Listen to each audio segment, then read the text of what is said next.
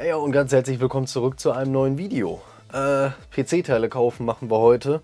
Wahrscheinlich nicht alles an einem Tag, weil äh, ich nicht an einem Tag überall hinfahren kann.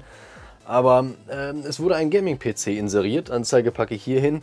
Äh, da kann vielleicht drin stehen, schon verkauft, weil ich mich gut kenne und äh, weil ich gerade keinen Screenshot gemacht habe und er das schon mal reserviert hat oder sowas. Ich lasse mich überraschen. Ich finde, das geht wohl, oder? Ich meine, die Karte gibt es für sag ich mal, ich glaube 85 Euro war das günstigste, was ich gesehen habe. Board und CPU, ja, ich, ich glaube, das passt wohl.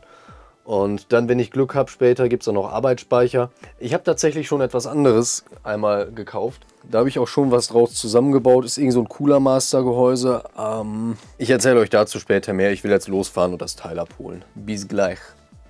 Jo, und dann bin ich auch mal wieder da. Hm, den Zeitraffer, den wir gerade gesehen haben, wenn ich überhaupt einen eingefügt habe, äh, der passt nicht zu dieser Fahrt, lag nur daran, dass die GoPro gerade nicht einschalten wollte. Aber jetzt tut sie das wieder. Wir haben noch 88% Akku auf dem Teil und die Lösung war einfach den Akku rauszunehmen und wieder reinzustecken.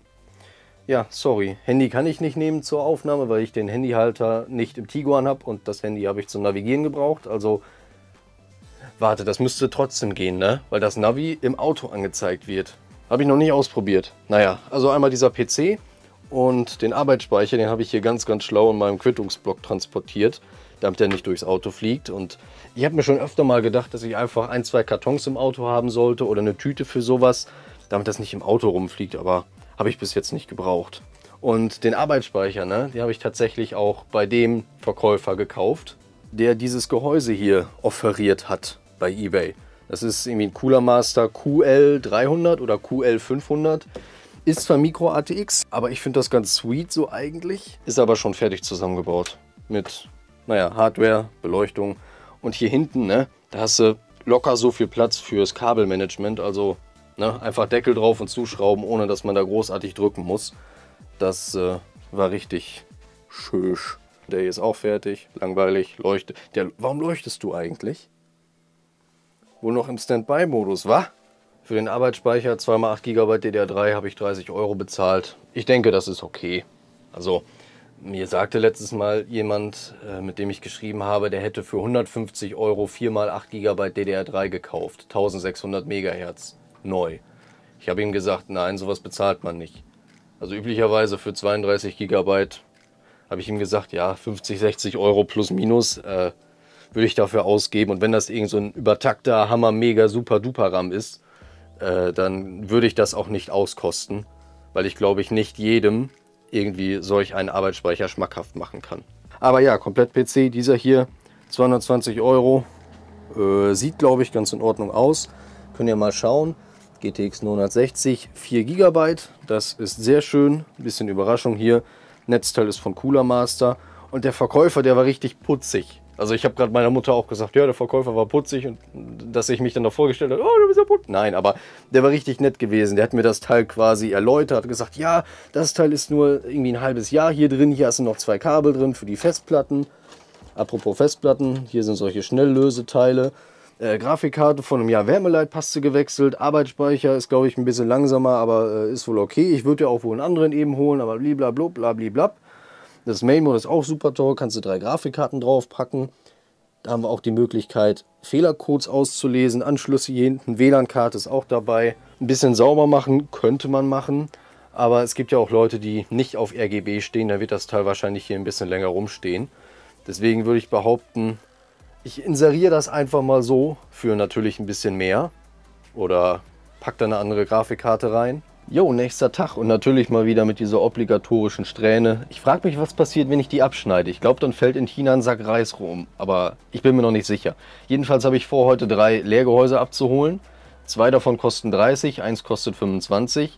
Das für 25 kommt aus Nordwalde, der Verkäufer hat aber noch nicht geantwortet. Und das andere kommt aus, äh, aus Gronau tatsächlich, die beiden. Ich gucke hier schon die ganze Zeit, bis es soweit ist, bis ich losfahre, ob da noch irgendwas Cooles dabei ist, aber Silver Creased? Heißt das nicht Silver Crest? Tatsächlich. Da ist jemand zu blöd zu lesen, was auf dem Karton steht. Oder eine 8 Terabyte Festplatte für 10 Euro? Das glaubst du wohl selber nicht. Ach, das soll so eine SSD sein von Wish. Ja. Also wenn man, schon da, wenn man das schon dazu schreibt, dann vermute ich mal, dass da ein 16 GB USB-Stick mit Heißkleber reingeklebt ist. USB 2.0, hier steht USB 3.0 drauf auf dem Ding. Und dann gib ihm. Ein Dreibeinstativ. Ja, gibt es auch ein Zweibeinstativ für Kameras? Wie, wie willst du dir das vorstellen? Das steht doch gar nicht von alleine. Eigentlich wollte ich sagen, ich will nicht nach Münster, da gab es zwar eine Grafikkarte, aber ja, erzähle ich später. Ich hatte mich da für einen PC inseriert, irgendwie 130 Euro für einen i7 4770, 8 GB, GTX 760. Äh, ja, irgendwie so ein Teil von Medion. Und da stand dabei, äh, für 130 Euro kriegt man das, wenn man es heute noch abholt. Das war vor drei Tagen. Jetzt hat er geschrieben, ja, Handy war kaputt. Und ich habe ein Bild vom Inneren gekriegt, weil ich eben wissen wollte, aha, war das irgendwie so ein kurioses Netzteil. Aber das ist hier ein ganz normaler äh, 24-Pin-Anschluss, deswegen kann man das Teil so auch benutzen. Und ich gucke mal, ob dieses Modell eventuell eine SSD verbaut hat. Wenn dem nämlich so ist, dann hole ich das ab. Ich habe tatsächlich recht behalten, da ist eine SSD drin, die hat aber 24 GB. Also entweder verkaufe ich die, benutze die später für irgendeinen älteren Laptop oder ich sage bei der Installation, Standard-Installationsfahrt für Programme ist dann eben auf der zweiten Festplatte, die dabei ist, 1 Terabyte. Oder man benutzt das als Cache, kannst du glaube ich auch machen. Da muss man nicht nur Standard-Installationspfade umstellen, sondern auch eigene Dateien, Downloads am besten. Ob sich das dann zeitlich lohnt, weiß ich nicht, aber ich will das Teil haben. I7 4770, 8 GB, GTX 760, Netzteil dazu, äh, 1 Terabyte Platte für 130. Ja, das geht wohl. Ich will das Teil haben und deswegen wird das jetzt gekauft. So.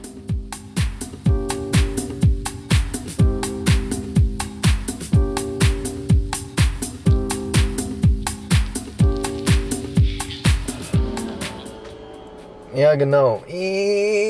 Deswegen mag ich Roller nicht. Also die sind bestimmt cool, aber du setzt dich darauf und dann erstmal. Ja, Gehäuse habe ich gekriegt. Ist auch noch komplett neu. Ähm, da haben sie mir gesagt, weil ich erst vermutet habe, weil das ein Micro-ATX-Gehäuse ist, dass man vielleicht das falsche Mainboard dafür hatte. Aber haben sie gesagt, ja, nee, ähm, mein Mann, der wollte da irgendwas anderes haben. Ich habe mir gerade extra vorgenommen, mir ganz viel Zeit zu lassen für die Fahrt. Auf der Bahn mit 120, das bin ich gar nicht gewohnt. Ich bin trotzdem eine Minute eher angekommen. Also wahrscheinlich, weil ich für den Tag ein bisschen Ruhe brauchte, aber nee, das macht keinen Sinn zu sagen, ja, ich will ein bisschen Ruhe und dann fahren wir erstmal ein paar Kilometer durchs Land. Fahren wir jetzt weiter zu dem anderen Gehäuse, das ist auch hier in Gronau. Und der Verkäufer aus Münster hatte dann gefragt, ob ich wirklich vorbeikommen würde. Also muss ich mir Gedanken machen? Ja, ich weiß nicht. Wir gucken. Ice cold, baby.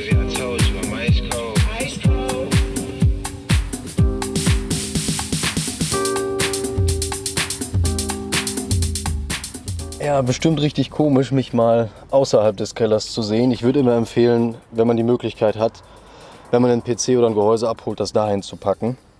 Ich habe, glaube ich, mal einen PC abgeholt, hatte den da hinten drin und dann musste ich ziemlich hart bremsen und äh, ja, da war im Golf gewesen, im Kofferraum ist äh, ein Subwoofer, da passt das Teil wahrscheinlich so gerade rein und zerkratzt sich immer. Hinten auf der Rückbank oder vorne wäre es, glaube ich, durchs Auto geflogen. Also hier ist das am safesten. Und ja, da ist ja noch das Zeug, was ich schon seit einer Woche hier rausräumen muss. Liegt aber dran, ich habe zu Hause noch Bier und ja, das kommt aus Holland oder so.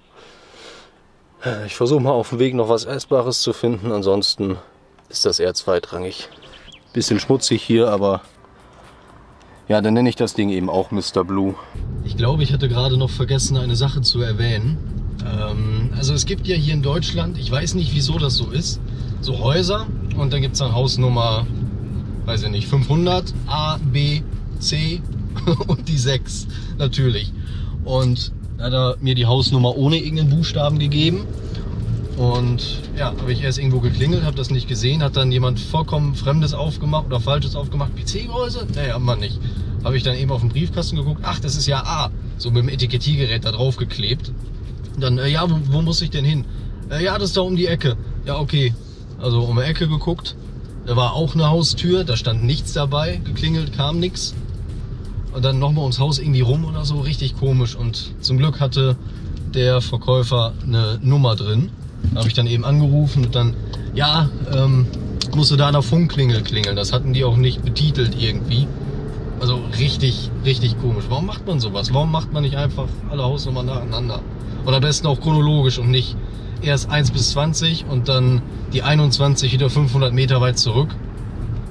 Naja, so ist das halt hier, das, das, das Leben in den Bergen. So ist das, ja. Ich fahre da mal nach Münster, gell?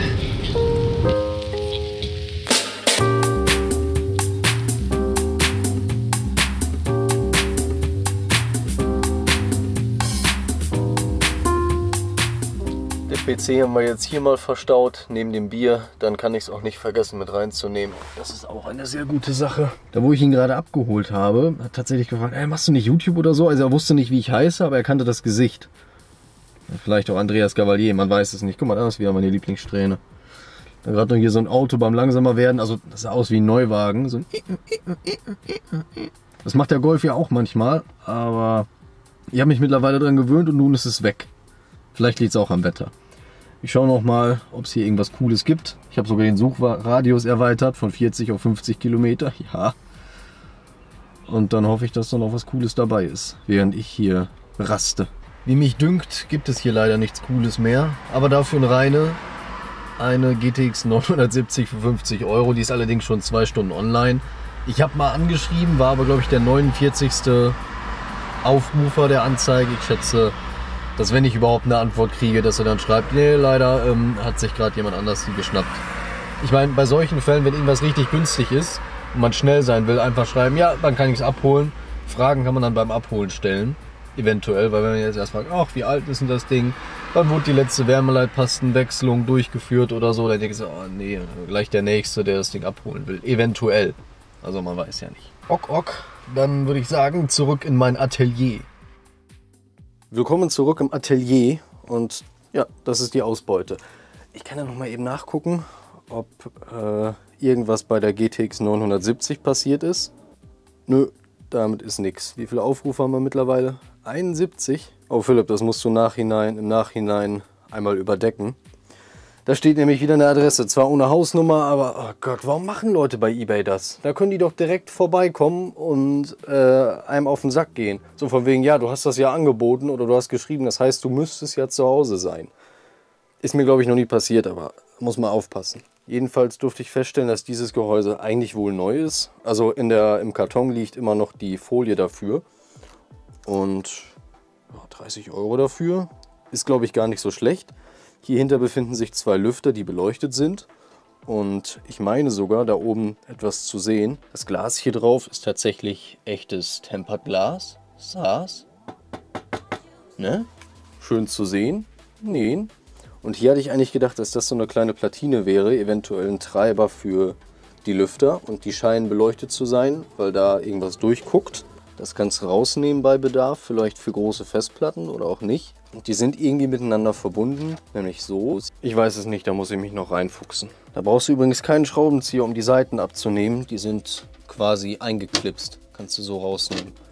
Ist sehr, sehr schön, das Ding. Und was muss ich hier sehen? Ein bisschen rumgefuscht, war. Und hier kommen noch extra Kabel raus. Was zum Henker. Oder warte mal, die Kabel, die hier rauskommen, wären ursprünglich für einen Taster gewesen, schätze ich mal. Damit man den Farbeffekt oder den irgendwie Effekt ändern kann. Bisschen dunkel mit dem ganzen Dreck hier vor, aber ja, ist ja egal. Solange das so funktioniert, bin ich da nicht übermäßig böse drum. Aber wenn man schon schwarze Kabel hat, ne, warum nimmt man dann gelbes Isolierband? Und du bist der einzige Komplett-PC hier in der Runde. So sieht das Teil von vorne aus. Hier fehlt eine Klappe, aber sonst kannst du erstmal nicht viel sagen. Muss mal sauber gemacht werden. Da haben wir dann unsere SSD sitzen, angeschlossen über Mini PC Express, äh, über, oder ja, Mini PC Express oder Mini SATA. Unser Lieblingsnetzteil von FSP Group. Also ernst gemeint, ich mag die Dinger. Und dann unsere 1 Terabyte Platte. Wenn du Strom kriegst, gehst du von alleine an. Ist aber auch, ne? Der ist, glaube ich, wohl ein Stück lauter schon. Da lohnt sich das ab und zu mal, den äh, Saugäumel reinzuhalten. Oh, Deutsch und Polnisch. Das ist toll. Da wollte ich mal einfach so checken, okay, läuft das alles wohl irgendwie? Und wie wir hören, äh, hier haben wir ein Flugzeug-Turbinchen am Laufen. Es ist die Grafikkarte und hier hinten kommt keinerlei Luft an. Also Ganz, ganz bisschen vielleicht. Temperatur ist jetzt bei 78, 77 Grad. Oh, und es wird noch weiter. Äh, noch, noch mehr. Echt toll. Also, ähm, sowas kann passieren bei eBay. Machst du eben sauber, äh, werden wir dann sehen. Wenn der Verkäufer hier zuschaut, wenn du davon wirklich nichts wusstest, dann, dann ist das so. Aber den PC dann so zu verkaufen, naja, Ich hatte den Verkäufer nochmal angesprochen darauf, dass der PC ganz schön laut wäre und er sagte nur, er hätte selber keine Ahnung davon und äh, wenn das für mich ein großes Problem wäre, würde er das Teil auch zurücknehmen. Also von daher eigentlich alles gut. Ich finde nur, das hätte man vorher irgendwie sagen können. Deswegen, das ist noch eine weitere Frage, die man stellen könnte, wenn man sich PC-Teile kauft, um eventuell so noch den Preis zu drücken. Natürlich, wenn man weiß, wie man den PC sauber macht, dazu habe ich auch mal ein Video hier verlinkt. Ich werde speziell zu dem, äh, zu dem PC noch ein Video machen gleich, glaube ich. Und die GTX 970 habe ich natürlich nicht bekommen können. Er hat zwar einmal äh, geantwortet mit einem stumpfen Ja, so auf die Frage, wann ich das abholen könnte. Wann kann ich es abholen? Ja, okay. Aber äh, ja, wie gesagt, habe ich mir schon vorgestellt, dass ich das Teil nicht kriegen sollte. Äh, Zusammenstellung, Zusammenbauen oder Installation mache ich vielleicht später des Tages, aber mehr als nur Windows installieren werde ich gerade nicht tun können, weil unser Internet hier gerade nicht funktioniert. Ich schätze mal, in irgendeinem so Unity Media Verteilerkasten oder Vodafone Verteilerkasten befindet sich gerade ein wenig Wasser und deswegen kommt hier auch nichts an. Ich werde das Video äh, hochladen können. Ich habe noch eine alte Aldi Talk SIM-Card und da gibt es irgendwelche, äh, wie heißen die Dinger genau? Genau, Surf-Tickets. Da kriege ich dann für 3,99 10 GB Datenvolumen für einen Tag, nicht für den ganzen Monat. Und das werde ich wohl in Anspruch nehmen. Da kann ich hier ein, zwei Videos hochladen, vielleicht noch selber was gucken. Und ja, später muss das dann nochmal erweitert werden für einen Tag. Ist das billigste, was mir gerade einfällt. Es gibt mit Sicherheit günstige Tarife, aber bis die SIM-Karte dann hier ist, von irgendeinem günstigeren Tarif und aktiviert und so weiter und so fort, da brauche ich sowieso Internet für. Geht zwar mit dem Handy, aber ne, das wäre ein Ne, wird sich nicht lohnen. Ich schätze mal, in zwei, drei Tagen ist das Internet wieder da und wenn nicht. Ich habe mir übrigens mal, äh, es gibt da so Störungswebseiten, ne? Da wird, wird dann die Firma ums Übelste beleidigt. So von wegen, äh, sowas kann passieren, sollte nicht, aber ist ja auch in deren Interesse irgendwie, dass die Kunden dann später wieder zufrieden sind. Vor allem, ich bin nicht der Einzige hier. Ne? Das kommt von ganz alleine, da bin ich mir sicher. Ja, dann äh, bedanke ich mich fürs Zuschauen und wir sehen uns demnächst wieder. Und bis dahin, ciao, ciao.